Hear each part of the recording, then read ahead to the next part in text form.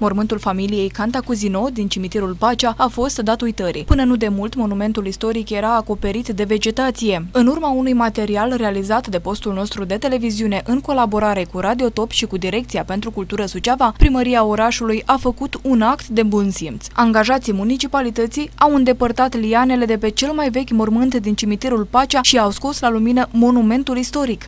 Ce am făcut este poate 10% din cât, din cât e necesar. În rest, Urmează restaurarea propriu-zisă. Urmează să îndreptăm ce avem de îndreptat, să reparăm ce avem de reparat și să-l facem să arate ca un mormânt adevărat a unui cantacuzin.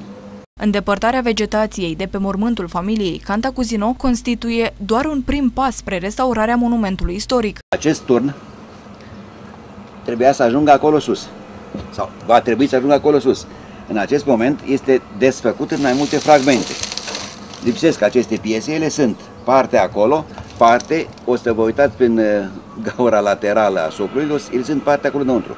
Ele trebuie adunate, format un singur corp, o singură piesă, care va trebui poziționată acolo unde a fost locul, sus acolo.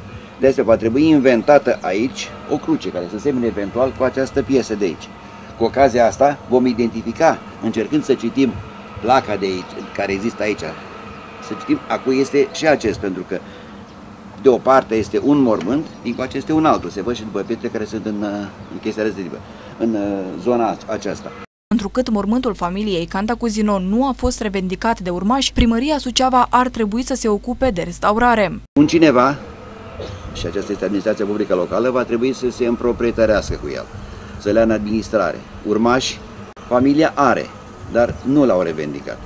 Și atunci cred cred că ar trebui ca administrația publică locală să facă demersurile necesare pentru a intra în proprietatea acestui spațiu mormânt și a încercat să-l pună cât de cât în, în forma în care a fost inițial. În cimitirul Pacea există cinci morminte declarate monumente istorice. Unul dintre acestea este cel al familiei Cantacuzino. Celelalte patru nu se află într-o stare grozavă, însă, regăsindu-se pe lista Ministerului Culturii, sunt oarecum protejate. În eventualitatea înstrăinării celor cinci morminte, noi proprietari nu vor avea voie să le distrugă sau să le modifice. Pe lista monumentelor istorice ar trebui să se regăsească cel puțin 200 de morminte din cimitirul Pacea, susțin specialiștii. Un loc pe această listă ar trebui să-și găsească și mormântul fost fostului primar al Sucevei, Franz Cavaler de Loj.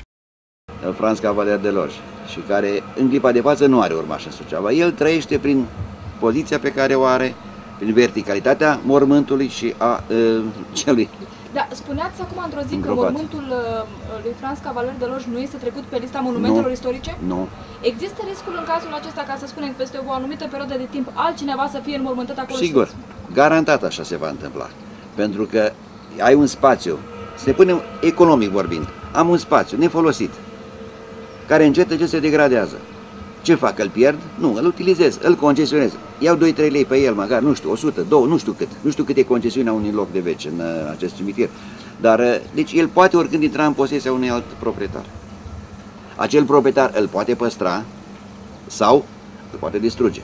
Franz Cavaler de Loj a fost primar al Sucevei timp de 23 de ani. În perioada cât a condus treburile orașului, a fost realizat centrul urbanistic al Sucevei, construindu-se clădirile în care se află astăzi prefectura, Muzeul de Istorie, Colegiul Național Ștefan cel Mare și Spitalul Vechi. În anul 1895, primarul Franz Cavaler de Loj a contractat un împrumut de 1,5 milioane de corone pentru electrificarea orașului, construcția canalizării, a unui apeduct și îndiguirea râului Suceava.